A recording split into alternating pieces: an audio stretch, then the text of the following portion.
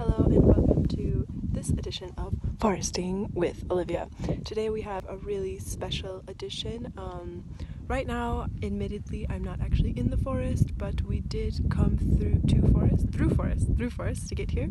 We are in the Rax Mountains in Austria, and it's absolutely beautiful here.